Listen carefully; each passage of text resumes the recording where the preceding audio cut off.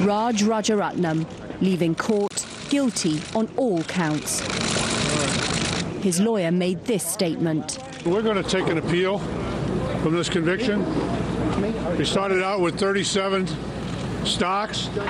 We're down to 14. So the score is, you know, 23-14 in favor of the defense. We'll see you in the Second Circuit. Thank you.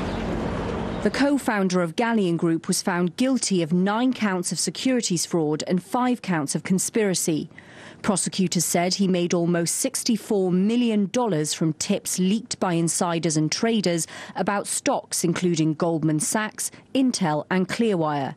And they used a novel technique to support their case. This has just changed a lot of things. The utilization of the wiretaps is so new and so original. This is the first time we've seen them in an insider trading case that I think this is going to change a lot of things on Wall Street. Hey, Anil, how are you? Good. I'm in Tokyo. Uh-huh. Uh, you know the Chinese, uh, you know, PC manufacturer that bought uh, IBM, right? Lenovo? So, yeah, yeah, yeah, yeah. They are very, very far in discussions with Fujitsu uh-huh. to buy their uh, PC business.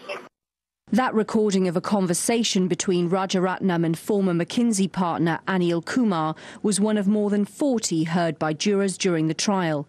The taped evidence would open up a usually inaccessible industry. And now, Rajaratnam faces up to 19 and a half years in prison.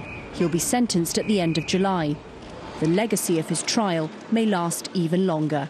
Nejra Cehic, Bloomberg.